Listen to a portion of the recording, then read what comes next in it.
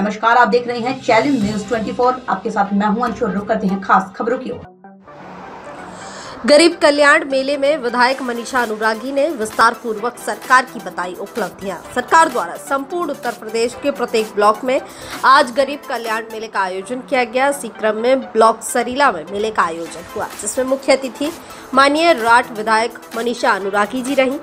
विधायक जी ने दीप प्रज्वलित कर मेले का शुभारंभ किया तथा सरकार द्वारा सभी सभी जन कल्याणकारी योजनाओं के बारे में विस्तार पूर्वक बताया और सभी दुकानों का जायजा लिया तथा मेले में आयोजन में सरकार द्वारा लाभान्वित व्यक्तियों को प्रमाण पत्र दिए तथा कुछ महिलाओं को लैपटॉप, प्रधानमंत्री आवास की चाबी सौंपी तथा युवाओं को सरकार द्वारा लोन प्रमाण पत्र दिए गए और प्राकृतिक आपदा में जिन व्यक्तियों का नुकसान हुआ है, उन्हें सहायता धनराशि के प्रमाण पत्र दिए। वहीं एक और क्षेत्र से आए लोगों ने सरकारी योजनाओं का लाभ न मिलने की शिकायत विधायक मनीषा अनुरागी से की।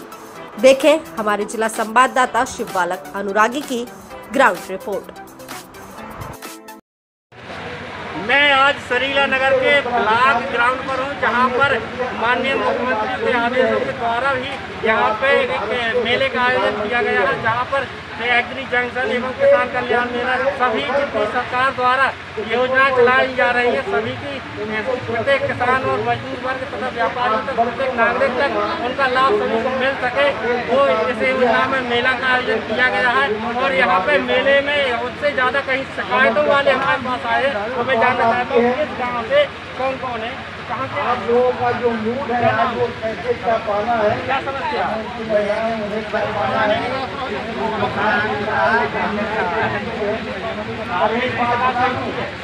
जैसा कि आपने देखा कि ग्राम परछा से आए और इन्हें, इनके बच्चों को पोषक आहार नहीं दिया जाता, जो कि सरकार द्वारा क्वांटलों दाल दलिया और रिफाइंड आता है, इनको इनके बच्चों को नहीं मिलता। देखना चाहिए कि ये मेला केवल दिखावटी रहता है, कि इन पर कोई कार्रवाई होगी भ्रष्ट अधिकारियों पर। तो आगे जाना चाहता हूँ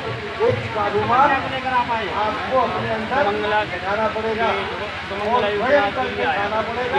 जो मैंने ये फॉर्म करवाया था पटना ग्यारह दो हज़ार उन्नीस को ठीक है अब लड़की है के पैदा होते और होएगा तो भाई इसमें पानी चाहिए अब लाभ आपको मिल रहा है लाभ लाभ मिला लाभ एक पैसे नहीं पाँच सौ रुपये खाए सुबह में खाएँगे आपने देखा जैसा कि है मोहम्मद इसराइल है इनका कहना जो सुमंगला योजना है सरकार की कन्याओं के लिए धनराशि यहाँ पे आ रही है। एक वो धनराशि प्रत्येक तक नहीं पहुँच पा रही है। उन उन बच्चों का भरण पोषण किस प्रकार होगा? केवल ये मेला दिखाओ की है यहाँ पे और बच्चे हैं, सभी को लाभ मिलता है मेरे साथ दादाजी क्या नाम है दादा इस मेले से लोगों को कितना लाभ मिलेगा? ये तो हम सब दिखावा भैया महीना मेला लगो जो। जी। अब पहले कभूली लगो। जी। चुनाव रहा है। जैसा कि आपने देखा दादाजी ने बताया कि ये केवल मेला दिखाओगी लेकिन सरकार का कहीं ना कहीं लोगों तक सहायता करने का प्रयास है।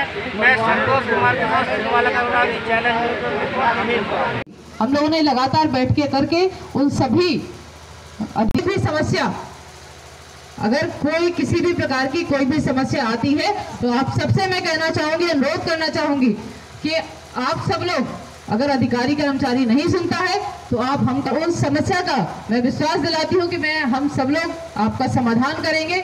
और इसी के साथ आप सबको नमन करते हुए अपनी वाणी को विराम देती हूँ। बहुत बहुत धन्यवाद।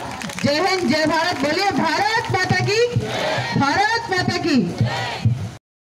मैम गरीब कल्याण मेला लगाया गया है तो आपके माध्यम से किस किस को पुरस्कृत किया गया है? देखिए, केंद्र सरकार की और हमारे प्रदेश सरकार की जो भी जन कल्याणकारी योजनाएँ चल रही हैं, उसी के क्रम में आज सभी ब्लॉकों पर, उत्तर प्रदेश के सभी ब्लॉकों पर इस गरीब कल्याण मेले का आयोजन किया गया है। और इसका जो उद्देश्य है, इस मेले का कि हमारे जितने भी ऐसे सभी लोग पात्रता की सूची में आते हैं, उन सभी लोगों को विभाग द्वारा सरकार की जो भी योजनाएँ हैं, इन सभी योजनाओं से आच्छादित करके और उन योजनाओं का वो लाभ ले सकें ऐसी उन सबसे अपील भी की गई है कि ऐसी केंद्र सरकार की और प्रदेश सरकार की जो भी योजनाएँ संचालित हैं उन सभी योजनाओं का वो हमारे सभी ऐसे लोग लाभ लें। जी सुमंगला योजना के तहत अब बताया गया है कि किसी किसी को जो है धनराशि नहीं दी गई है। उनको सिर्फ़ सर्टिफिकेट दिए गए हैं। देखिए अभी ये विषय आप जो बता रहे हैं कि सर्टिफिकेट हम लोगों ने एक इस मंच के माध्यम से ये व्यवस्था कर रखी होगी विभाग ने कि यहाँ से हम लोग सर्टिफिकेट देंगे बाद में उनकी जो धनराशि रहेगी वो भी उनको दी जाएगी। ऐसा नहीं है कि सिर्फ़ सर्टिफिकेट देकर ही उनको हम यहाँ से छोड़ देंगे उनको राशि जो भी है उनको वो भी मिली जाएगी।